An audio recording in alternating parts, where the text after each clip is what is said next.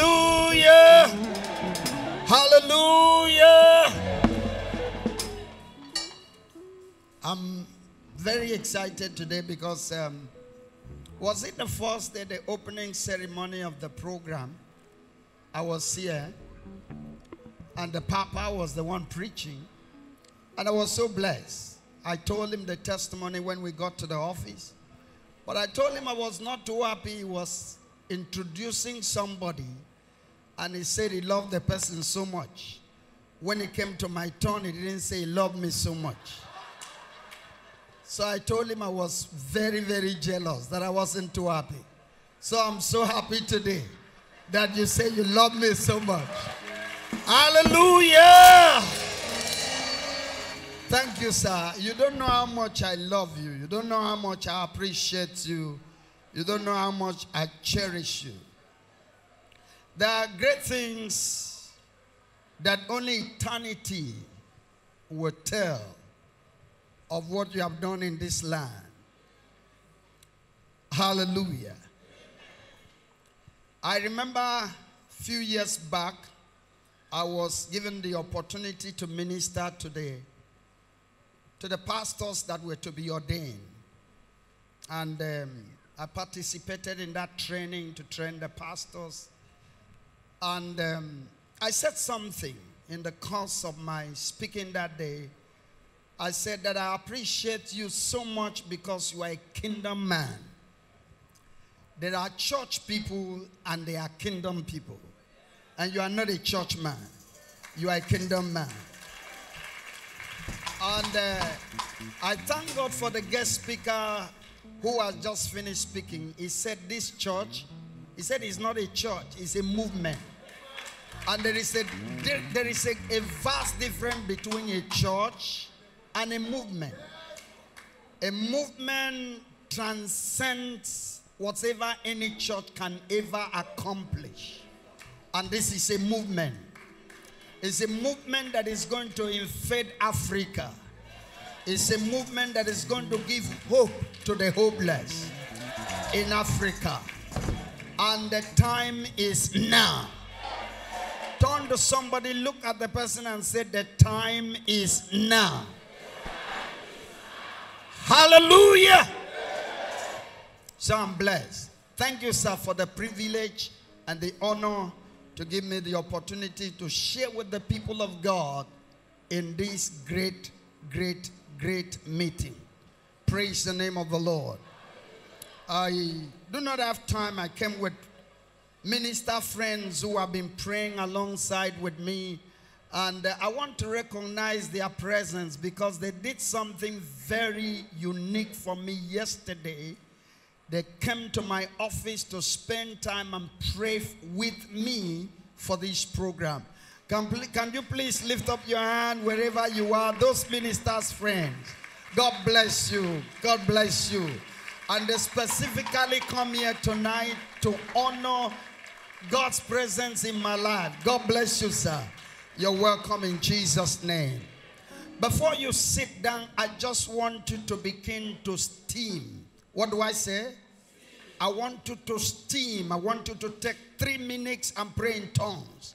If you are filled with the Holy Ghost, please stand on your feet and begin to boil and begin to steam and begin to vibrate in tongues. Open your mouth and begin to pray in tongues for at least three minutes. Libro katabalase progala centoriande. Badeno sobra que capate glesteriando. Isapraga se que lubro de mesicatosa. Engi sopraga la gatose craglese de brando. Elabadate que que praga da sotorianda. Rakapalaga seke to klosteri di brande. Ribada de brabada katozere. Rabada katoshe brakatozende. Ribade dopo se kraglabo sentoriande. Ingala braliabo seri di branca torianga sanda. Egalabro leba kasondoro moriende broliaba. Ribada do de bada do se krakle senda. Indere le brando se kadabrade de de brondo. Ikaya la la bra la basendo la base gran lusanda. Ita brando se kaka pragle seye. Ia la bra la bobo se busentarianda. Ikaya la la la brondo la base kaya de de. Ia la la brando se senda. Ikatoria la bra de bose que yede que. Yes, you remana katoshe. Karabalaga sokoromanose.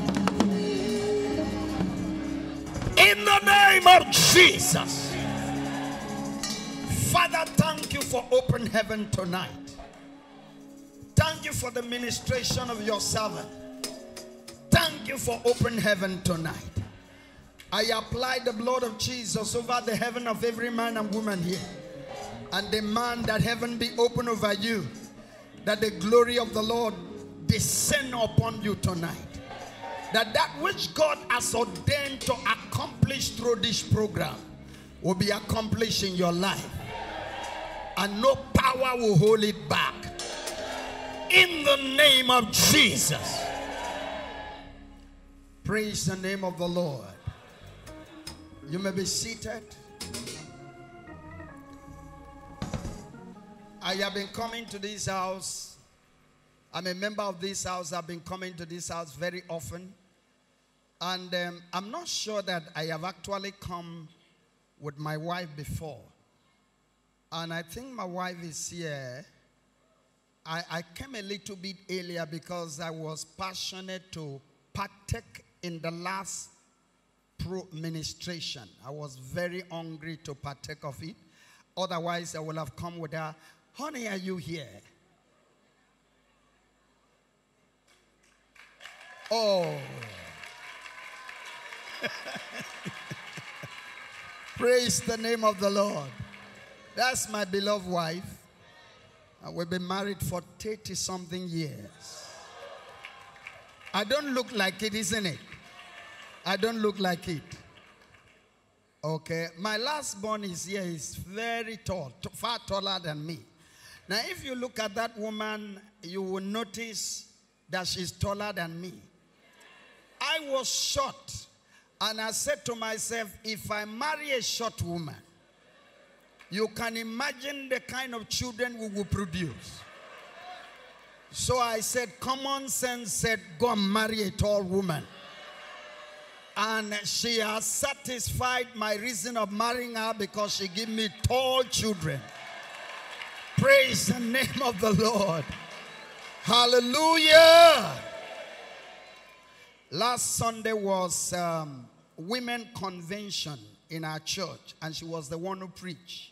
She ministered so well that I almost, honestly speaking, I was tempted to say, if it is needful for your servant to depart in peace, now I am ready. But I held myself back. I said, I'm not ready. oh." It was so powerful when she ministered. Praise God. Tonight I want to speak to us on the glory out of the shaking. The glory out of what? The shaking. There is a shaking that is going on right now all over the nations of the earth. And if you look at, I, I told you I was here on, on the opening ceremony of these 21 days of Festival of Glory. I was here, and the Papa himself read from the book of Haggai. And I like for us to look at it, Haggai chapter 2. We'll read from verse 9 to verse 21, and then we'll jump to verse 23. I'm reading it from the Living Bible translation. In early October, when is tomorrow? This is the way the Living Bible started. In early October, and I'm asking you, when is tomorrow? When is tomorrow? Or what is tomorrow? What is tomorrow? October. In early October of the same year, the Lord sent them this message through Haggai. Ask this question of the governor and the high priest and everyone that is left in the land, who among you can remember the temple as it was before? How glorious it was in comparison, it is nothing now. Is it? But take courage, O Zerubbabel and Joshua and all the people. Take courage and walk. Turn to somebody and say, Take courage. Extremely, extremely important at the time in which you will live, you must determine to be courageous. Do you hear what I'm saying? Because the days are becoming much more evil than it has ever been. So he said, Take courage. But take courage. That is verse 4. Oh, Zerubbabel and Joshua and all the people that, and all the people, take courage. A repetition. For I am with you, says the Lord Almighty. Whenever God said Almighty or I, thus says the Lord, He is putting His endorsement, is giving His signature. Amen. Verse 5 For I promise you, uh, for I promise when you left Egypt that my spirit will remain among you. So don't be afraid. For the Lord Almighty says, In just a little while, I will begin to shake the heavens and the earth and the oceans too and the dry land. I will shake all nations and the desires of all nations shall come to this temple. And I will fill this place with my glory, says the Lord. He signed his name. Says the Lord Almighty. The future splendor of this temple will be greater than the splendor of the first one. For I have plenty of silver and gold to do it. And here I will give peace, says the Lord. Verse 21. Tell Zerubbabel, the governor of Judah, I am about to shake the heavens and the earth, to overthrow thro uh, thrones, to destroy strengths of the kingdoms of the nation. I will overthrow their arm might, and brothers and companions will kill each other. But when that happened, turn to somebody and say, But when that happened, say it again. Now, why did the Lord set these? Because the Lord was setting a time. And He wanted the people to know when they ought to act appropriately, to match with the situation at, the, at hand. And so the Lord said, But when that happened, I will take you, O Zerubbabel, my servant, and honor you like a signet ring upon my finger. For I will, for I have specially chosen you. Turn to somebody and say, God is speaking to you. Set on another person by the other side of your hand. God is speaking to you. And what did he say? I have chosen you. What have he said? I have chosen you. What is he saying? I have chosen you, says the Lord Almighty. The glory out of the shaking. From the message that laid the foundation of this program by God's servant, we understand that the temple, two temples were being referred to as a reference point. The first temple was the temple of Solomon. This second temple was the temple that Ezra by the help of the prophets, Haggai had to build.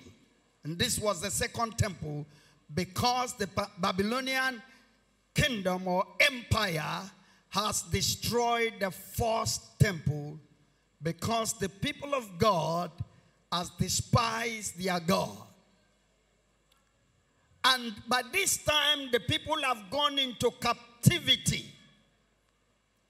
But very surprising enough, the prophet that rose up to begin to prophesy about the rebuilding of the temple happened, uh, happened to be called Haggai.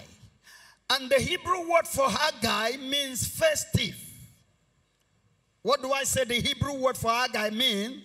Festive or festival, if you like. Now, what God was saying was that in the midst of pains, in the midst of bondage, in the midst of slavery that the people have gone into, it was going to bring a feast. It was going to bring a celebration. It was going to bring glory. No wonder the man Haggai has to fit into the picture to prophesy to strengthen the hands of the people of God to rise up and build. Now, something very strange concerning the two temples. The first temple, David had to prepare materials in abundance. But David was not allowed by God to build the temple because he was a man of war who has shed so much blood. And God said, Hey, you can't build a temple for me. Because the temple has to indicate something, the temple has to reference something. The temple was a pointer to the body of Christ. The temple was a pointer to the church. And it only one blood that will redeem the church. The blood of the Savior. So David, you are disqualified to build the temple. But David made abundance the material that was required for the building of that first temple. Then Solomon was chosen by the Lord to build the temple. And the hearts of the people were willing. But in the second temple, if you read it in chapter 1, Haggai started by saying, How come that you said the time has not come to build the temple of the Lord, but it is time for you to dwell in seal houses, in good houses, but you have said in your heart, it is not yet time to build the temple of the Lord. Now, these two temples picture the church. The church at its inception, the early church that kicks off from the Pentecost. And the second temple picture the church at this very moment the church at the present time fit perfectly the picture of the second temple. If you look at the lives of believers, if you look at what is happening in the nations of the world, the deceit inside the church, the corruption inside the church, the perverseness inside the church, the deceit inside the church, the lies inside the church. You seem not to picture glory at all.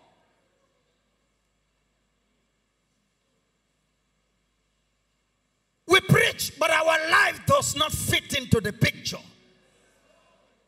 We answer Christians, but our lives does not fit into the picture. The difference is that in the early church, the people did not answer Christians. Rather, the sinners, the unbelievers, the world around them saw Jesus in their lives, Jesus in their behavior, Jesus in whatever they do. The people saw the power, the signs, the wonders, the miracles of Jesus in their lives. And the people called them Christians, meaning Christ like. Today, the world are doubting whether we are Christians. Our neighbors are doubting whether we are Christians. Our colleagues in the office are doubting whether we are Christians. Because we choose to answer Christians. But in the early church, they called them Christians because they saw the glory of Christ. They saw the life of Christ. They saw the power of Christ in their lives. So they were convinced, they were persuaded to answer, to call them what? Christians. But today, we choose to answer Christians without evidence, with no lives to show, with no power to show. I want you to know that this time in which we are, a divine shaking has already started. It started in 2019. Although it has been building up momentum, but the church, many church people were not aware of what was going on. The Illuminati has already started talking about G5G network 400 years ago before GSM was manufactured. The Illuminatis started talking about 5G network 400 years ago. The Freemason, those who are plotting and scheming and planning for one world government, known as the New World Order, have already been plotting and devising and insinuating and conspiring against the church. But the church has been sleeping. But the church at this moment that I'm talking is in a terrible, terrible danger. But the Most High God is saying, take courage. It's not too bad. Something is about to break forth.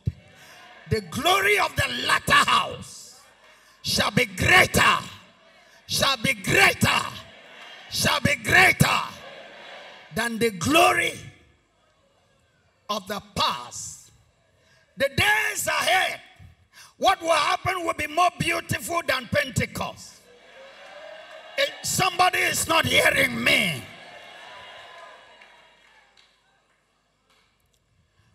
There is a movement that is about to start.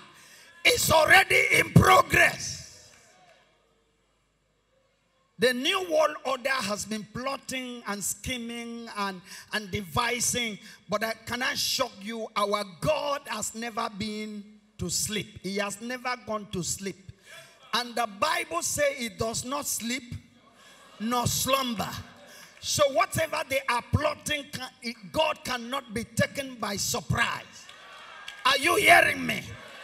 And it might look as though the church is not ready. But God is ready. And God said in the book of Romans that He's going to do a quick walk and He will cut it short in righteousness. Is somebody hearing me? The church in the early beginning, in the day of Pentecost, was so powerful, so explosive that the Bible has to tell us in the book of Act of Apostle chapter 19, think verse 12, that God did uncommon miracles, special miracles, which means that miracle in the early church was so common that there was uncommon one. God did uncommon miracles by the hand of Paul. So that handkerchief that is carried from his body will be taken to far distance and will heal the sick and will cast out demons. Handkerchief, apron. Praise the name of the Lord. But the present church doesn't seem to look like that. The present church seems to be at the mercy of the enemy. But I have a good news for you. The church is not at the mercy of Satan. The prayer partners I pray with, the ministers of the gospel that I prayed with, we had 24 hours prayer last Monday, or Monday before last. And uh, I asked them a question in that fasting and prayer. I said, very soon, unless the Most High intervene, vaccination is going to be compulsory. And that means that if a church does not take the vaccination, the government may be compelled to shut down the church. As I'm talking now, Australia, is it Australia? Yes, Australia people are, police are, and army are going from house to house, knocking door to vaccinate people. And if you don't want to be vaccinated, leave Australia. Joe Biden has made it compulsory in America that vaccine is compulsory. Are you not reading? Are you not li uh, listening to what is going on? The wall is at the palm of your hand. In Nigeria, they have already started going from church to church on Sunday morning to vaccine, to vaccinate people. Are you not aware of that? But can I shock you? There's so much, so much lies about the vaccination. So much lies about the COVID 19. So much lie. Singapore has single handedly defied the World Health Organization protocol. And Singapore has been able to cast carry out post-mortem on COVID-19, contrary to the World Health Organization protocol on handling this condition. And they discovered that it's not a virus, but a bacteria that can be cured with, what is it? With what? With chloroquine and what? Eh? aspirin, aspirin. It's a bacterial. It's not a virus. But they have been lying to us because they want to change the world. And the target is to kill as many Africa as possible. As I'm talking now, in the next two, three years, mark my word, maybe you will likely call me a false prophet. In the next two, three years, there's going to be massive debt. Because it has been proven that those that have received the vaccine are really the problem now, not those who are not vaccinated. It has been proven beyond every reasonable doubt. And the World Health Organization and other medical scientists have been bribed to lie. So many people are dying that are receiving this vaccine. So many people are dying, but they are suppressing the news. Listen to me. In the next few years, there's going to people will be slump, slumping on the street and dying. And I asked the pastor, I said, What happened? If they shut down the church, how do I eat? I need to think of myself and my family. And then the second thinking, I said, if this second shutdown has not come, many people have already backslided. What about if this second shutdown comes? What will happen to the church? And I was bothered, I was concerned. And of course, we spent time and prayed. That night, while we were praying, I couldn't sleep because when we broke our fast by six o'clock, somebody with a terrible skin disease has just been healed now. If you have any kind of skin condition, God is healing you now. In the name of Jesus.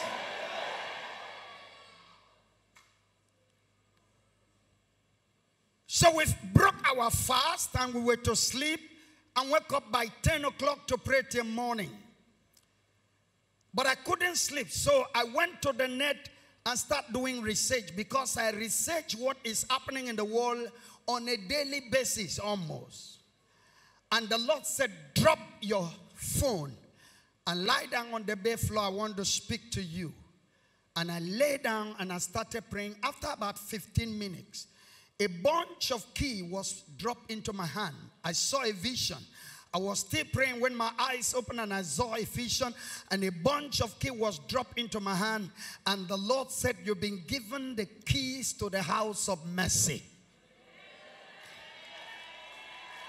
I did not understand what the Lord said and what He meant. So, 15 minutes after I stopped my prayer, pick up my phone and cockle in.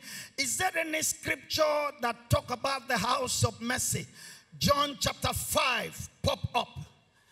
You can it, you will see it. And what I discover is that the name Bethesda means house of mercy. And you know, in John chapter 5, the pool of Bethesda. Hello. And often time when Jesus want to heal the sick, the Bible said he is moved with what? Compassion or mercy to heal the sick. So the word Bethesda means house of mercy or flowing water. I still couldn't understand. I said, Lord, do you want me to start a pool of Bethesda? I will not be able to do that. Though. You will need to speak with clarity and send angel to knock sense into my head before I practice that one. So I keep praying throughout that week. Then the Thursday of that week, the Lord woke me up by 12, by 2 a.m. and said, Get to the altar and lie down and pray. And as I was praying, the Lord said, It's simple. The house of mercy is simple. Go tell my people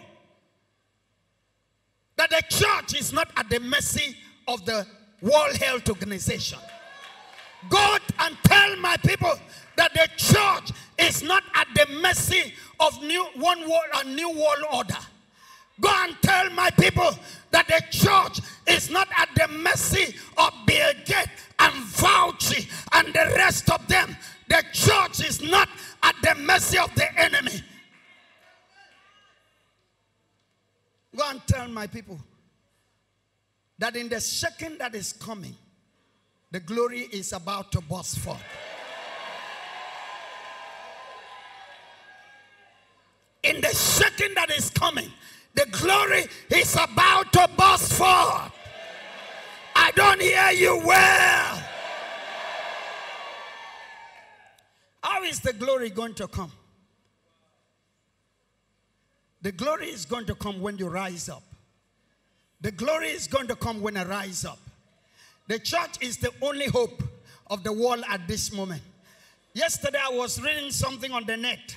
Many, many doctors are telling people in the Western world don't go to the hospital. Hospital is very dangerous now because of the lie they are telling. Hospital is very, very dangerous now. Don't go to the hospital.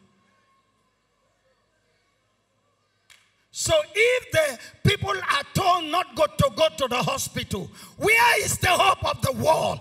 You are the hope of the world. Enough of sitting down and playing church.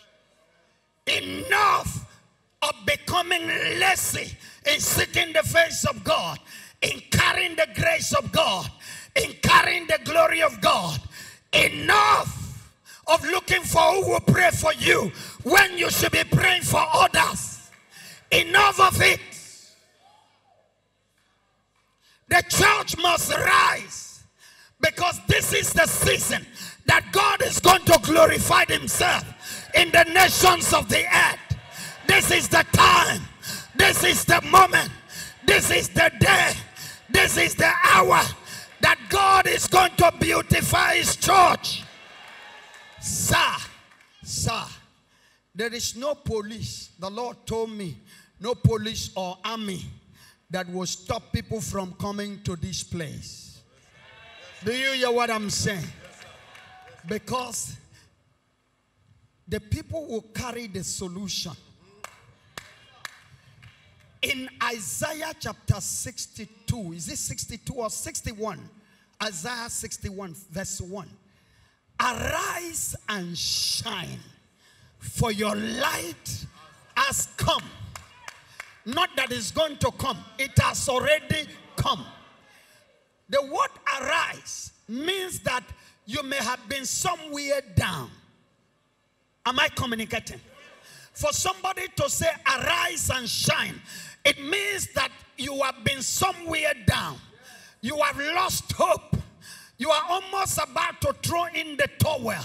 You are discouraged with, the, with, with financial situation in the nation.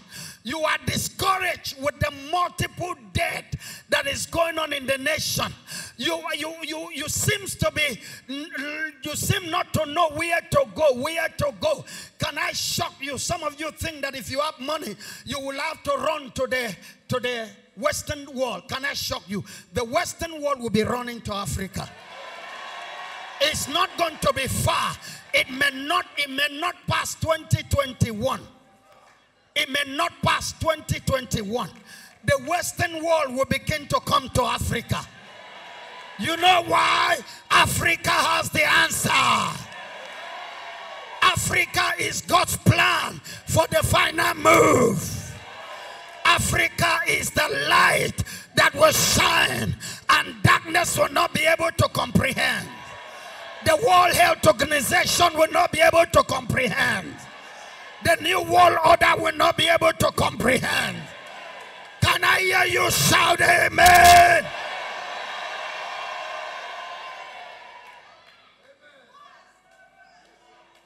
Tonight, I have an assignment from heaven. And we don't have much time. The Bible says, Arise and shine. Can we open to that place? Because I don't have time. Can we just open to that place? Isaiah chapter 61. Am I right? Is it 60? God bless you. You're a Bible student. Isaiah chapter 60. Let's read from verse 1. Okay, it's on the screen. Can we just open to that? Can we all stand while we read this word of the Lord? In Is honor to the King of Kings and God the Lord of Lords. Want to go? Student. Arise, shine, for thy light Let's is come, okay, and the glory of the Lord is risen upon thee. Verse 2. Verse 2. For behold, the darkness shall cover the earth, and cross darkness the people. Arise, but the Lord shall arise upon thee, and his glory of the Lord is risen upon thee. Verse 2. Turn to somebody and said, His glory shall be seen upon thee. But listen, but listen. But before his glory will be seen upon you, you must make up your mind to arise and shine. The glory is already in you. I said the glory is in you. The Bible says in this mortal body contain the treasure, the glory we carry in our body. The, this earthen vessel, we carry the treasure, we carry the glory. The Bible says you are complete in Christ who is the head of all principalities and powers. You are not about to be completed. You are already complete in Christ. The Bible says you are the light of the world.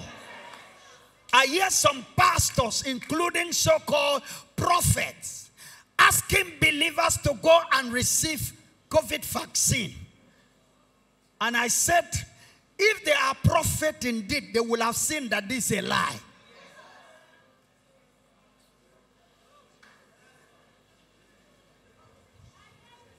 Do you hear what I'm saying? But you must be willing to rise up and shine. And the Lord said, I, I have an assignment in the house. Everyone that is sick, everyone, the Lord showed me some people whom I need to call their case. Uh, there are 20 women that will need to carry their babies by this time next year.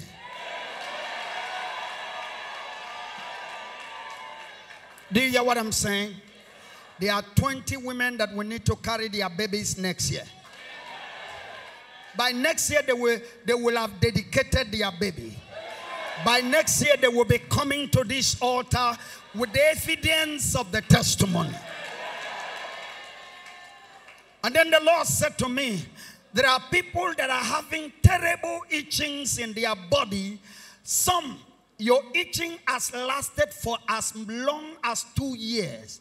And you have taken all kinds of medication and it has not responded to any treatment. Tonight is the end of it. There are some people that are having terrible problem in their respiratory tract problem. It's not COVID. But even if it is COVID, you will be healed tonight. And then the Lord said, There are people that have been having terrible heat in their body, internal heats. It's like if they are conducting fire service in your body. Tonight, the fire service will leave. I said the fire, the fire service will leave. There are people that are having difficulty with their feet. They cannot walk properly. Tonight you will walk. But this is how it's going to happen. I'm not going to be the one to pray. You are the one to pray. So, very quickly, because of no time, very quickly, if you fall under the condition that I have called, lift up your hand. And please, this, please keep it down. This is what we are going to do. As you lift up your hand, we don't have time. I will line up people here. And then you have never prayed for the sick before in your life and see somebody healed. But tonight you will pray and you will see somebody healed tonight. I don't have time to go into that, but what we are going to do is that as the people lift up their hand, not only the sicknesses I have called out, blindness will be healed tonight, deafness will be healed tonight, dumb tongue will be open tonight. I didn't used to believe that stammering, stammering was a sickness until I preached in your your branch uh, your pastor is not here tonight, invited me in your branch and I preached. And there was a man whose stammering was bad. And when I said, if you have any kind of condition, God will solve the problem, the man came out eh, eh, eh, and he started stammering so bad. He said, Can God heal my condition? At that time, I didn't have a choice than to say yes. And God miraculously healed his stammering. And then I went to a Presbyterian church in Akamkpa. And I gave the testimony, and there was a young girl whose stammering was worse than that of the first one. But this time around, I have seen it, so my faith has grown. And she was healed instantly that night. Tonight, if you are stammering, you will be healed. But please look, please wait.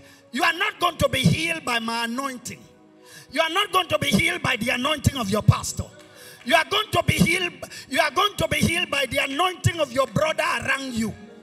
Because every one of you born of God, you carry anointing. I say you carry anointing. The only problem is that you don't know it. What you don't know you have, you cannot use it.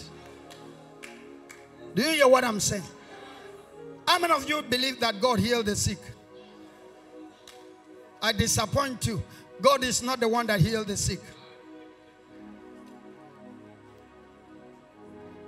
I say God is not the one that healed the sick.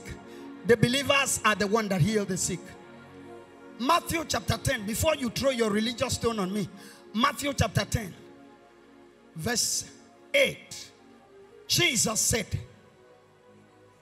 Heal the sick, cleanse the leper, raise the dead, cast out devil. Freely you have received. What do you receive? Power. What do you receive? Power. Acts chapter 1, verse 8. And you shall receive power. After that, the Holy Ghost is come upon you. And you shall be my proof producer. You shall be my witness. When you are a witness in the court, you produce a proof of the case that you are witnesses about. Am I communicating? Say, I have power. It's either you are lying or God is lying. And the Bible said, let every man be a liar, but let God be true. If you are born again, if you are filled with the Holy Ghost, you have power. Turn to somebody and say, I have power. Was Jesus lying when he said, You this sign shall follow them that believe? Are you a believer? I say, Are you a believer? He said, You shall lay hand upon the sick, and the sick shall recover. Have you been going about laying hand upon the sick? How God anointed Jesus of Nazareth, who went about doing good, healing all that were oppressed of the devil, for God was with him. You have the power. But until you use what you have, you will not know what you have. Are you hearing me? Tonight, we'll experiment it. We will know whether God is a liar. We may not have time for testimony tonight, but please, I beg you for testimony tomorrow. Please, if you are sick in any part of your body, you are going to raise up your hand. Three people to one person. Don't lay hand on the head. Lay hand on the shoulder. Hold the hand. Command that. Listen to me. This is how to pray. If you want evidence, if you want to see miracle happen, this is how to pray. As a matter of fact, you don't pray for the sick.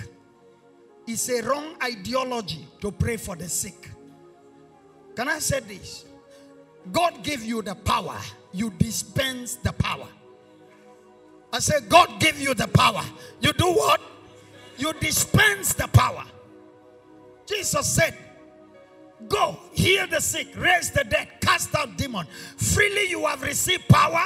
Freely you have received healing. Freely you have received anointing to break the yoke, to cast out demon. Freely give it. And then you say, No, God, give it. So you lay hand upon the sick and said, Oh God, heal. God said, No, I gave you the power to heal. Why are you calling me to heal? Is somebody here? So Peter says, Silver and gold have I none, but such as I have. So Peter had something beyond silver and gold. Such as I have, I do what? I give to you. In the name of Jesus, rise up and walk. Can I shock you very quickly? There are two ways the name of Jesus is used. One, the name of Jesus is used to approach the Father as a child of God for your need. Secondly, the name of Jesus is used to carry out a transaction on behalf of Jesus. In John chapter 16, from verse 23, Jesus said, Until now you have asked the Father nothing in my name, but you shall ask that you may receive, that your joy may be full. And he went on to say, I am not going to appeal to the Father to answer your prayer. Why? Because the Father himself loves you. Because you believe in me. Do you know what that means? Is, can I ask you a question? Is God love? Has God ever been love? The Bible says God is love. Is he love? When did God become love? Was it when he created man? Because to love, you must have somebody you set your love on. So, who did God first set his love on? Jesus. Jesus was the dearest of the Father's heart. Jesus was loved beyond measure by the Father. That is why the Bible said, For God so loved the world that He gave. You did not know what God gave. God gave all of His heart to the world. That is why Romans chapter 8, verse 32 will say, If God spend not his only begotten Son, but freely deliver him up for us all, how shall he not with him freely give us how many things? How many things? All things. So for you to believe in Jesus, you have accepted the love of the Father. The love of the Father is on you. So Jesus said, I will not appeal to the Father on your behalf because the Father himself loved you because you believe in me. Then in John chapter 14, from verse 12 to verse 14. Listen on. John chapter 16, let me show you something. John 16, 23. Very quickly. And in that day you shall ask me nothing. John chapter 14. John chapter 14. Give us verse 13. John 14, 13 and 14. And whatsoever ye shall ask in my name, that I will do. Is it not a contradiction? In chapter 16, he said, You shall ask me nothing. In chapter 14, he said, Whatever you ask in my name, not the Father, I will do it. What is the mystery? The mystery is that when you go in his name to cast out demon, Jesus endorses it. Do you hear what I'm saying? For the Bible says, He that believe in me, surely, for sure, with guarantee, it is settled. Whosoever believe in me, the works that I do, he shall do also, and greater works than that, because I go to my Father. You know why Jesus was excited to go to the Father? So that he can multiply himself in us. You know why Jesus, the Holy Spirit is Jesus multiplied. Do you hear what I'm saying? So Jesus sent the Holy Spirit to multiply himself all over the world. So you are Jesus. Turn to somebody and say, if you believe in him. Say, if you believe in him. You are Jesus. You belongs to him. He lives in you. And you are in him. And the Bible said in First Corinthians chapter 6, verse 17, He that is joined to the Lord is one spirit with the Lord.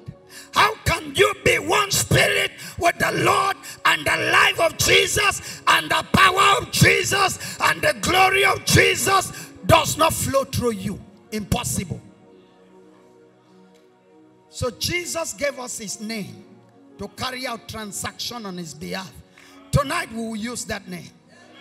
Now, so three person to one person, anyone that lift up his hand, you are going to go three person to one person, laying upon the shoulder of the person.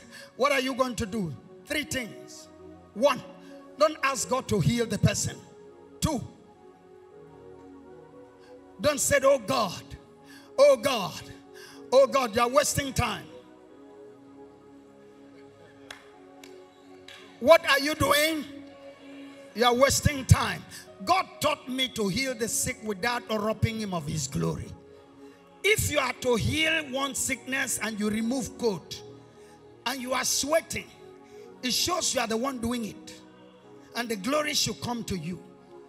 But if you look at a woman like the one that came to my house, the sister happened to be our children pastor in the ministry. And she had chronic peptic ulcer. And she was living in London when she came and spent some days with her sister. She started vomiting and they rushed her to the hospital. And the, the doctor told her, You have chronic ulcer. And so she decided to shorten her days of staying in Nigeria to fly back to, America, uh, to Britain where they have sophisticated equipment to handle her case. But the sister kept persuading her to come for me to minister to her. And she said to her sister, I don't believe in all those nonsense. The pastors can deceive you people, but not me. But the sister kept persuading her. So when they were taking her to the airport, the sister said, Can we just branch to the pastor? He said, Okay, okay, so that you'll be happy. Let's go. And she walked into my parlor, bending down under a terrible, excruciating pain. And you know what she did, sir? When she sat down, she said to the sister, My flight, my flight, my flight. So I know if I was going to sing a chorus, it would be a waste of time. If I was going to worship, it would be a waste of time. If I want to preach to her, it would be a waste of time. I said to her, Stand on your feet. I said to her, You are the one that need miracle. And you are talking about time, time, time. Stand on your feet. Let me show you the love of Jesus. And she stood up. Sir, in the medical science, there is radiation. My hand conduct radiation. So you know what I did? I simply did like this. I said, check your body, you are healed. And the woman checked, every pain has disappeared. Every sickness has left. She said she cannot be true. It cannot be true. I say it's true. The sister said it's true. When you heal like that, you give the glory to God. Because it shows you are not the one doing it. It is his power that he has entrusted you with that has done it. Is somebody listening to me? Can I shock you? If you don't listen to what I say tonight, when people, when there is no hospital, when hospital are shut down, when people are dying, we will miss the season of revival. Do you hear what I'm saying? But if you listen to me tonight and believe that the God that is in you can heal the sick, when you see the dead fall down, you will raise them up people will gather, you will have enough altar to preach the gospel. Some of you want to preach here. No more time to preach here. The altar will be everywhere. The pulpit will be everywhere. God is going to make it available in the next one, two, three years. Everywhere be, will become the pulpit. Because when you begin to heal, people will look for Jesus in the midst of this shaking, God wants to take glory for himself. So, lay hand upon the person and say, sickness, disease, infirmity. You talk to who? Sickness. You talk to, to, you, to sickness. Secondly, you talk to the body. So you command the sickness, the disease, the plague, the infirmity, the affliction to leave that body. Secondly, you command the body to receive life. You transmit strength, power, health, soundness to that body.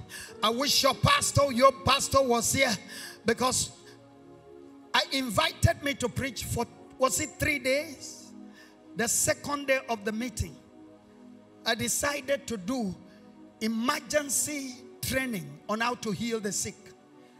And I finished and I said, I want people who has never healed the sick before, but you are born again, you are filled with the Holy Ghost to come forward. And I call for sick people to come.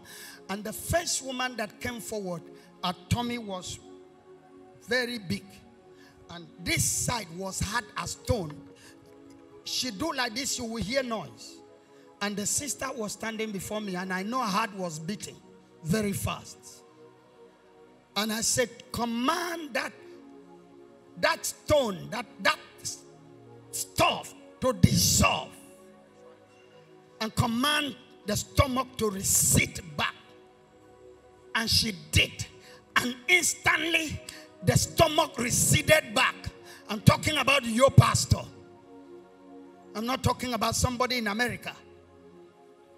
The stomach receded back, and the place that was stiff, the stiffness dissolved instantly. The place went wild. The third day, there was no space in the hall. Tonight, God will use you. It is time for the believers. The day we are living is called the days of the saints. No longer the God superstars. No longer the pastors, the apostles, and the prophet. We are living in the days of the saints. the saints will carry the healing mantle of Jesus Christ to the world to give hope to the hopeless. Are you hearing me? Are you ready? Command the body to be healed and then stop. Don't pray endless prayer. Stop and say, What happened to you? Check because sometimes when the person is healed, you are still praying. The person is already here. You are still praying. Stop and ask if it is pain as the pain disappear. Oh yeah, are we ready? If you are sick, lift up your hand. Any kind of sickness, lift up your hand.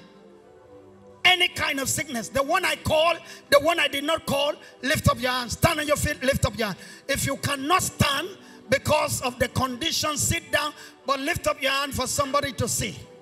Three people to one person. Three people to one person. Do that very quickly. Spot out the person that is lifting up hand.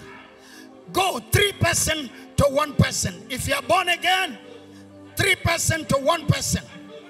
Do that. Rabada dekototori labasanda. Ribaleke tokusimbra. Makutaka la sopragada toteria. Ripaklaka satori kaparagase.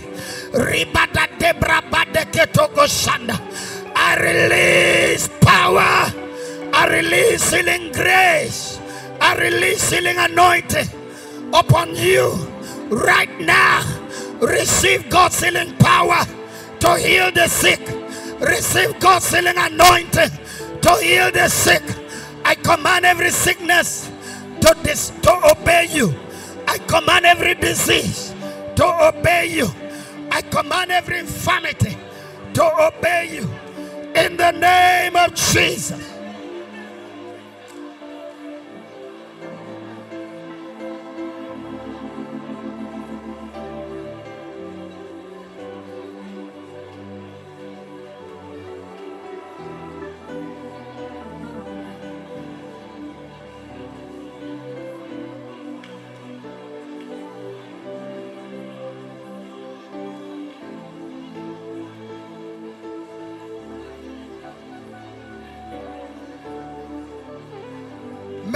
You stop and interview the person.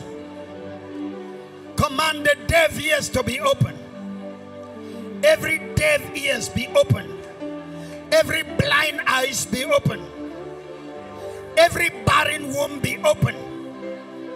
Every dumb tongue be loose. Every stammering stop and be corrected. I correct every impediment of the tongue. Command the leg that is crippled to be strengthened out. I command that fibroid to disappear. I command the cancer to disappear. The breast cancer to disappear. The goiter to disappear. I command the tumor to disappear. I command the respiratory tract system to disappear. I command the stiffness of the leg, the stiffness of the hand to disappear. Every sickness, every disease, every plague, every infirmity, every affliction disappear, disappear, disappear, disappear, disappear. Now, now, now, now. Power of the Holy Ghost, fire of the Lord, healing virtue flow into those bodies. Be healed now, be made whole now, be set free now, be loosened now. Stop and interview. Hello, all of you stop and interview. Anybody that is healed should wave his hand. Anyone that has noticed the pain is completely gone, the disease has gone, lift up your hand and wave. Oh no, you don't get me. You don't get me. Please listen very carefully. If somebody has laid hand upon you and prayed, and the sickness has disappeared, lift up your hand and wave. there is the sickness has disappeared. You can give a testimony.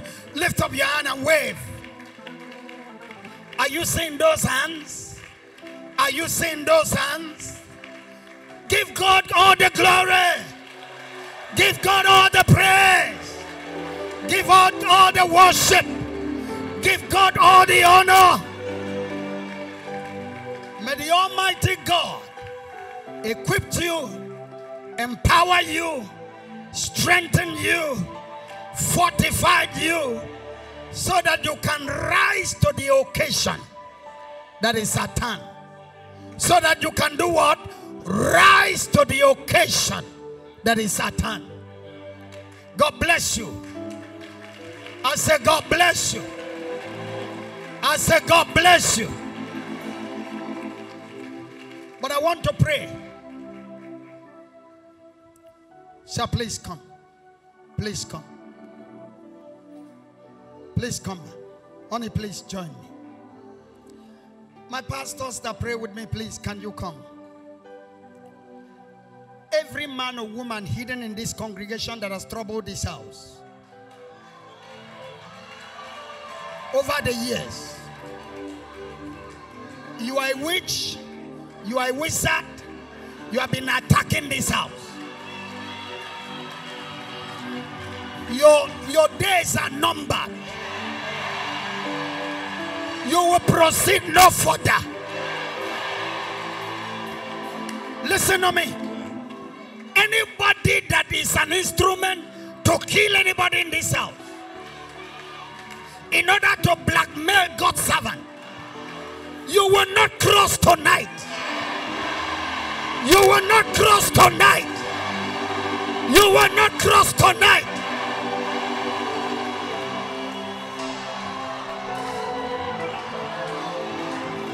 Salema, lay your hand, two of your hand on my shoulders, two of my shoulders. Please lay hand upon him. Be connected to him. Listen, listen, so that you know when to say amen. Eternal Father, we thank you, we bless you, we worship you, we adore you. Your servant has labored in this land. Your servant has honored you in this land. This land ought to recognize your servant. Anybody that is a member, anybody that was a member that left the ministry, whether a member or a pastor, that become an instrument of death to this house tonight apostolic mantle. We judge you by corporate anointing. We judge you. We judge you. This night will not spare you. You will not cross over till tomorrow. You will not see 1st October 2021. In the name of Jesus. In the name of Jesus. The Bible says that when there is no judgment, people do not learn righteousness. Tonight, we teach the witches and the wizard in this house, in this street, in this locality. Every witch, every wizard that tried to blackmail this house will take away your life. Will take away your life. Will terminate your life. And Henceforth, you will not be alive to perpetuate your wickedness. In the name of Jesus. In the name of Jesus. Every altar, every sanctum, every covenant that have been raised up against this ministry, every incantation, every pronouncement, every decree, every injunction against this house tonight, tonight, we scatter those altars. We scatter those altars. We scatter those covenants. We scatter those sanctum. We scatter them. In the name of Jesus. In the name of Jesus. In the name of Jesus. We pass a decree by this company of the prophet and the apostles and by the corporate house of God. We pass a decree. No, no more sudden death. No more untimely death. In this house. The fear is broken. The fear is broken. The fear is broken. This church is a movement to liberate Africa, and no power can stop it. In the name of Jesus. In the name of Jesus. In the name of Jesus. If you believe it, shout seven amen.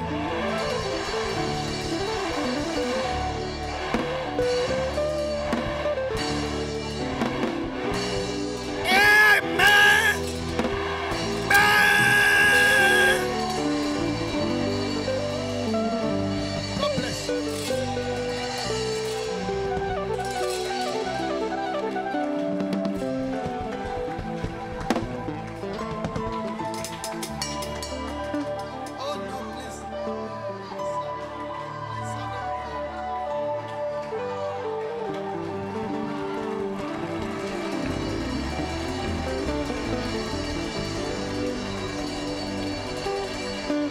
Hallelujah! Hallelujah! I want to I want to pray one more prayer. But I want you to take a sacrifice. Turn to somebody and say sacrifice. You will rush to the altar. I did something. Pastor May Nikan preach is my friend, my closest friend. We fast and pray together almost all the time. When he called for the offering, the sacrifice that he called for, I was the first person to step out. I was waiting. That morning, I, I, I listened to a testimony on the net, on Facebook, under the ministry of Schambach. Somebody asked Schambach, What was the greatest miracle you have ever seen in life? Schambach said, The greatest miracle he has ever seen in his life was a young child of about eight years that was healed of 20, 30, 36 or 38 sickness and diseases. One child, eight years of age, 38 sickness and diseases. He said the mother brought the child to Schambach, I mean to AA Allen's program. Day after day, and they did not call her name, so she was not able to bring out her child to be prayed for. Then, I think five days after, AA Allen came on board and said, I want a seed of faith. He said, Give a seed that when you give, you know it takes faith to give this kind of seed. You know, there are seed that takes faith to give. There are seed you can give without feeling anything. But there are seed when you give, it takes faith to give it. This woman had only $20 bill left. And she has told Schambach that she was living in another city. And that this $20 bill is the only thing left in her hand. She came, lodged in a hotel and was eating, eating, and was attending the program and was sowing seed every night. And the money exhausted, remaining only 20 bill. When Shamba called out that seed, you know what the woman did? She took off from the back with the child. She ran and beat everybody and was the first woman to drop the $20 bill in the basket. Schambach said where he was standing, he moved out to go and see what the woman put in the offering tray and discovered was the $20 bill. Schambach said he wept. Tears came out of his eyes. And he said to himself, The woman has gotten a miracle tonight. And that child was sealed of 30 something sickness and diseases that night. The child was deaf, blind, born blind, born deaf, born dumb, born crippled, no private part. The child has all kind 38 sickness and diseases. But that night, but that night, but that night, the woman was healed. That was why I listened to that message that morning. So when Pastor Imeme can call out for that offering, I was I determined I was going to be the first to, to drop the offering. Tonight, I wanted to take a seed of faith. I didn't say offering. I say a seed of what? Faith. A seed that you know it takes faith to sow. Can I give you a testimony? I'm going to sow a seed of faith too. Can I give you a testimony? Years ago, because of fasting and praying, I'm praying so much in tongues. One day, God visited me and put fire in my hand. Whenever I'm standing to minister to the sick, the fire will come upon my hand. And then I know that that sickness is gone. One day I shared the experience with somebody and the thing left. Oh, I was so sad. You don't share everything with everybody. So I started fasting and praying for the thing to come back. Fasting did not bring it. Offering, I mean, counseling. I went for counseling. I went for deliverance. I was still a young minister. I didn't know too much. One day, I attended a service, evening service, and the pastor said, Take all the money that is in your pocket, give in the offering. And I was living, this was Enugu. I, my wife is Igbo woman, so I'm your in law. You have to treat me well. Praise the name of the Lord. And so I married and wedded in Enugu. And so I, I was living in Abakpa Nike while the service was at number 2B Weri Road, Grace of God Mission. I was a pastor by that time. I took all the money, and that day, a brother blessed me with good money. Temptation, serious temptation. And on that fine day that I was blessed with good money, the pastor said, Empty everything. How you are going to go back, I don't know, but empty everything. I will not say that tonight because I'm not led by the Lord.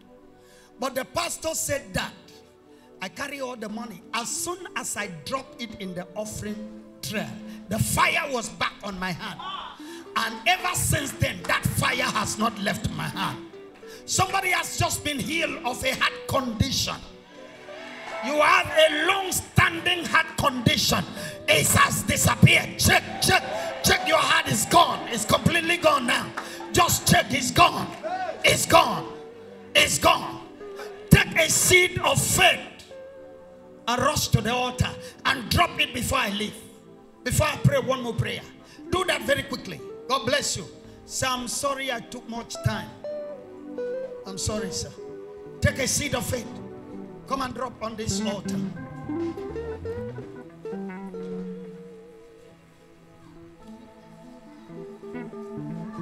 Do that very quickly.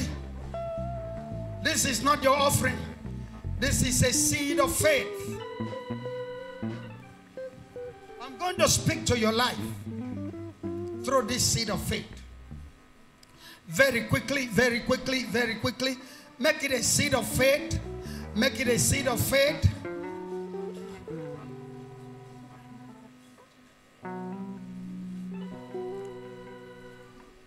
Very quickly.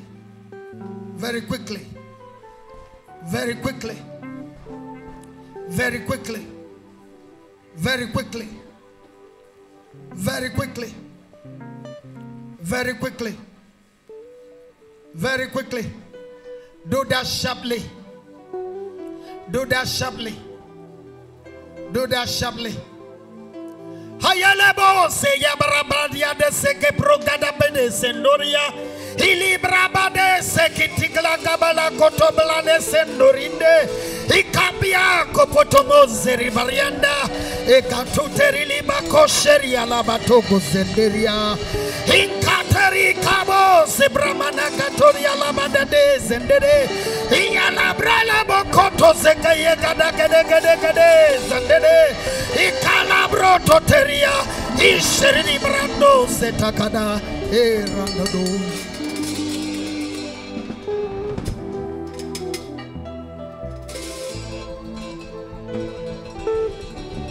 Jesus, you are the Lord.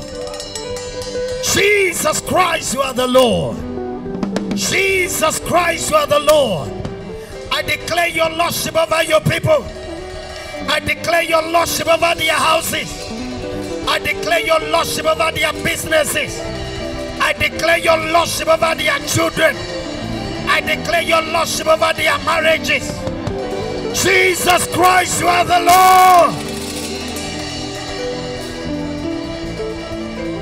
Lift up your hand. Straight it forth towards this altar. You that is playing instrument, straight forth your hand towards this altar so that you don't miss it. Listen and listen carefully.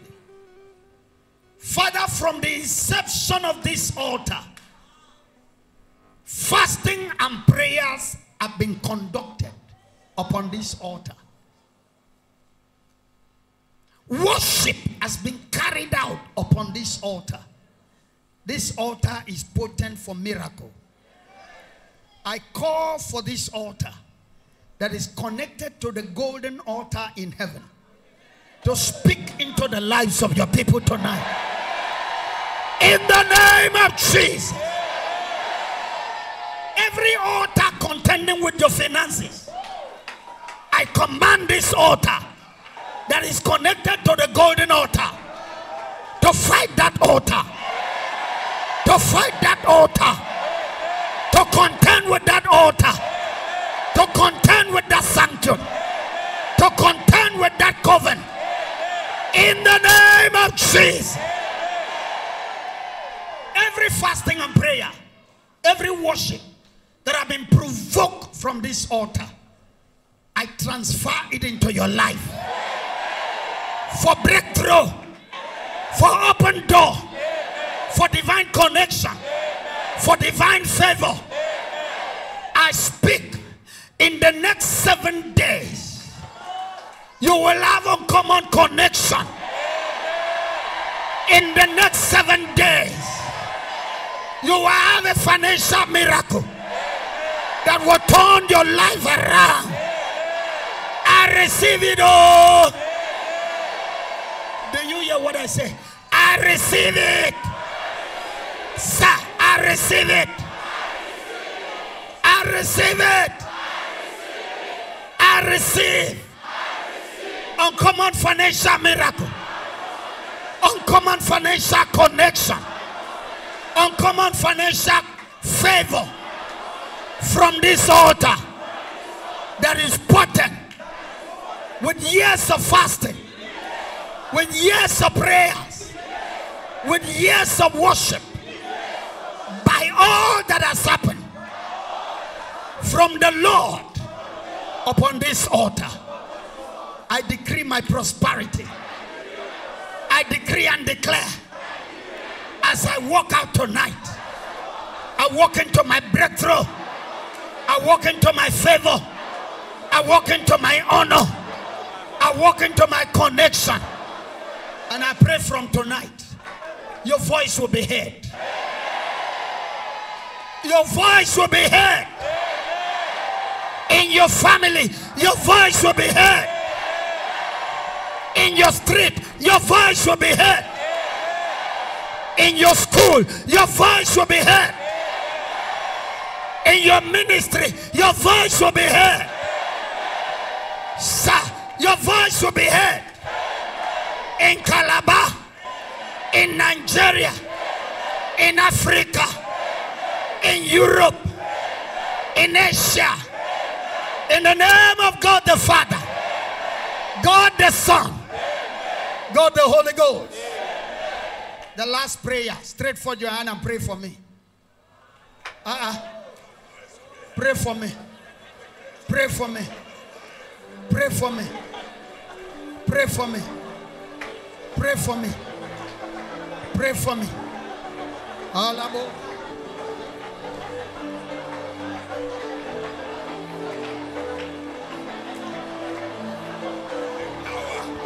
follow you all over the world. This healing grace, this healing anointing upon your life shall go all over Nigeria, shall go all over Africa, shall go all over the world.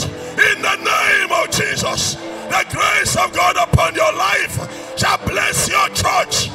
In the name of Jesus, the revival grace shall go through the body of Christ all over the world in the name of Jesus.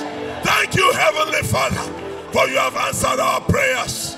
In Jesus' mighty name we pray. And amen.